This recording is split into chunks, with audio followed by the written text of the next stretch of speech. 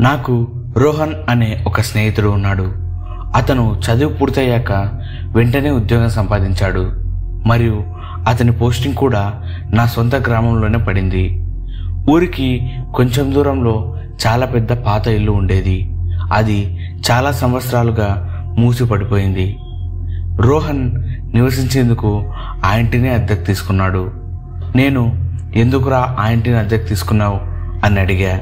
దానికి వాడు ఏమోరా నాకు సౌకర్యంగా ఉంటుంది అని చెప్పాడు. సరే అని నేను పెద్దగా పట్టించుకోలేదు. అలాగే హాయిగా తన పని తను చేయడం మొదలుపెట్టాడు. కొన్ని రోజుల తర్వాత ఒక రాత్రి అతను నిద్రిస్తున్నప్పుడు ఏదో ఒక జంతువు శబ్దం చేస్తున్నట్లు వినిపించింది. మొదట్లో ఆ శబ్దాన్ని పెద్దగా పట్టించుకోలేదు. కానీ మరుసటి రోజు కూడా మళ్ళీ అదే రకమైన శబ్దాన్ని వినడం మొదలుపెట్టాడు. ఆపై ఆ ఇంట్లో ఏదో నన్ను భయపెట్టడానికి ప్రయత్నిస్తుందని అనుకున్నాడు. కానీ రోహన్కి దయ్యాల మీద ఎటువంటి నమ్మకం లేదు. కాబట్టి మళ్ళీ తిరిగి పడుకున్నాడు. కాసేపటి తర్వాత రోహన్ నిద్ర లేచేసరికి అతని ముందు భయంకరమైన నల్లటి నీడ కనిపించింది.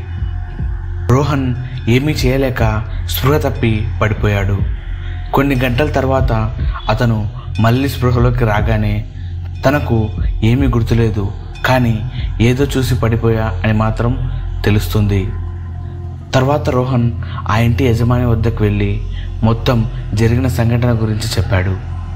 అప్పుడు ఆ ఇంటి యజమాని రోహన్తో ఆ ఇంటి పై అంతస్తులో ఏదో ఒక ఆత్మ నివసిస్తుందని చాలా సంవత్సరాల క్రితం నీలాగే ఒకతను ఆ పై అంతస్తులో నివసిస్తూ ఉండేవాడు. కానీ ఏమైందో తెలీదు. ఆ ఇంట్లోనే ఉరివేసుకొని చనిపోయాడు. రాత్రిపూట ఎవరైనా ఆ దారి గుండా వెళితే ఆ ఆత్మ చుట్టుముట్టి చాలా రోజులైన వాళ్ళను వదలదని చాలామంది చెబుతూ ఉండేవారు. కానీ ఆయన్ని ఇంతవరకు ఎవ్వరూ చూడలేదు. ఒక్కసారి మాత్రం అతను భయంకరమైన శబ్దం చేసి అందరినీ కలవరపరిచాడు అని ఆ ఇంటి యజమాని చెప్పాడు. ఆ ఇంటి యజమాని మాటలన్నీ విన్న రోహన్ ఇదంతా ఒక ఊహ అభూత కల్పన అని అనుకున్నాడు. ఎందుకంటే అతనికి దయ్యాల మీద నమ్మకం లేదు. అందుకని నిశ్శబ్దంగా అక్కడి నుంచి తన ఇంటికి వెళ్ళిపోయాడు. కొన్ని రోజుల తర్వాత ఒకానొక రాత్రి పదకొండు గంటల ప్రాంతంలో రోహన్ రాత్రి భోజనం చేసి ఇంట్లో నడుచుకుంటూ వెళ్తున్నప్పుడు చుట్టూ చీకటి పూర్తి ప్రశాంత వాతావరణం కనిపించింది. అప్పుడు అతని కళ్ళు గోడపైకి వెళ్ళి చూడగా ఇంటి గోడలు మరియు తలుపులన్నింటిపై వివిధ జంతువుల గుర్తులు ఉండేవి. అలాగే అతని పని పూర్తి చేసుకొని ఇంటికి వచ్చే టైం కల్లా చాలాసార్లు ఆ ఇంట్లోని వస్తువులు చెల్లా చెదురుగా పడి ఉండటం అతను గమనించాడు. అతను ఇంతకుముందు ఇలాంటివి ఎప్పుడూ అక్కడ చూడలేదు. ఇంత జరిగినా సరే దయ్యాలు భూతాలు లేవు అన్న మొండి పట్టుదలతో అలాగే అక్కడే వాటిని పట్టించుకోకుండా ఉండేవాడు. అలా ఒక రాత్రి అతను గుండెను కదిలించే సంఘటన జరిగింది. రోహన్ తన ఇంట్లో ఒంటరిగా నిద్రిస్తున్నాడు. అప్పుడు అతనికి భయంకరమైన శబ్దం వినిపించింది.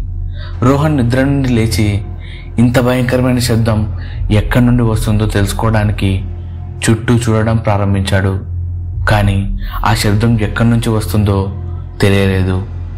కానీ ఆ శబ్దం మళ్ళీ మళ్ళీ వినిపించడం ప్రారంభించింది. రోహన్ త్వరగా తన గది లైట్ను ఆన్ చేసి చూశాడు. చాలా భయంకరమైన మరియు భయానక దృశ్యం అతని ముందు నిలబడి అతని వైపే చూస్తూ ఉంది. అప్పుడు రోహన్ భయంతో వణికిపోవడం ప్రారంభించాడు. అలాగే అతని గొంతులో నుంచి కూడా మాటలు రావడం లేదు.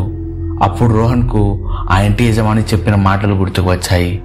నాకు కూడా ఇలాంటివి జరుగుతాయని కలలో కూడా ఊహించలేదు అని అనుకున్నాడు. అతని శరీరం చాలా పొడవుగా మరియు భయానకంగా ఉంది. అతని వెంట్రుకలు పాలవలే తెల్లగా ఉంగరాల జుట్టుతో రెండు కళ్ళు రక్తంతో తడిసిపోయాయి. చూడడానికే చాలా భయంకరంగా ఉన్నాడు. అది చూసి రోహన్ పరిస్థితి మరింత దిగజారింది. రోహన్ ఇంత భయంకరమైన మరియు భయానక దయ్యాన్ని తన జీవితంలో ఇంతకుముందు ఎప్పుడూ చూడలేదు. దేవుడా దయచేసి ఇప్పుడు నాకు సహాయం చేయండి అని దేవుణ్ణి వేడుకొని ఇక ఎలాగోలా అక్కడి నుండి తెలివిగా తప్పించుకొని బయటపడ్డాడు. మరుసటి రోజు ఆ ఇంటిని విడిచిపెట్టి తన జాబ్ని కూడా సిటీకి పోస్టింగ్ మార్పించుకున్నాడు. ఈ సంఘటన జరిగిన చాలా రోజులైనా కూడా అతన్ని ఎవరో గమనిస్తున్నట్లు ఉండేది అని వాడు నాతో చెప్పేవాడు. సో ఇలా మీ లైఫ్లో కూడా ఏదైనా హర్రర్ ఎక్స్పీరియన్స్ జరుగుంటే కింద కమెంట్స్లో చెప్పండి. అలాగే మీ లైఫ్లో జరిగిన హర్రర్ స్టోరీని మన ఛానల్లో షేర్ చేయాలని అనుకుంటే మిస్టర్ ఇంట్రోవర్ట్ అని ఇన్స్టాగ్రామ్లో మెసేజ్ చేయండి. స్టోరీ మీకు నచ్చినట్లయితే వీడియోని లైక్ చేసి ఇలాంటి మరిన్ని ఇంట్రెస్టింగ్ స్టోరీస్ కోసం మన ఛానల్ని సబ్స్క్రైబ్ చేసుకోండి. నెక్స్ట్ ఇంకో వీడియోలో మీ ముందుకు వస్తా. అంతవరకు మీ mister introvert signing off bye